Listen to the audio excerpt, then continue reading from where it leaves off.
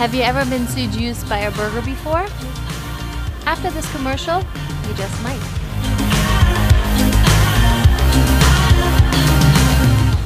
Hi everybody, welcome to the behind the scenes of the Carl's Jr. and Hardee's Jim Beam Bourbon Burger. I'm Heidi Klum.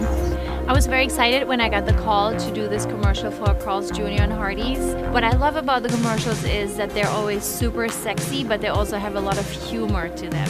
My favorite part is always when this beautiful girl bites into this gigantic burger and it has that sound effect of what I like about this commercial is that it's a very, very famous scene from The Graduate. And basically, I am playing Mrs. Robinson and I'm seducing this cute little boy with my burger.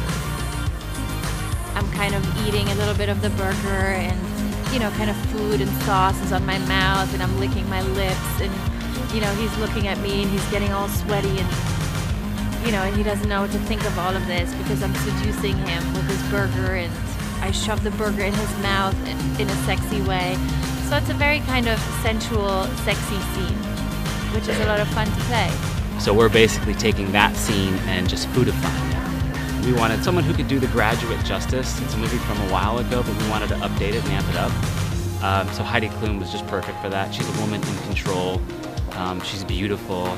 Uh, she knows how to eat a burger. I do eat a lot of burgers. I do also eat a lot of fries. She's that other level. She's like a little bit higher level, and I think this product is really about, it's for mature people, mature taste buds only. The burger is the star on the set. The burger is very, very yummy, and I had a lot of them today, so I'm a kind of an expert on the bourbon burger. There are a lot of yummy, crunchy onions in there. There's bacon in there, a great patty in there. It's very yummy. Heidi has just been great to work with, and the way she just manhandles that burger is just, we couldn't ask for anything more. I hope that you enjoyed this sneak peek, and now it's time for me to eat more burgers. Later, guys.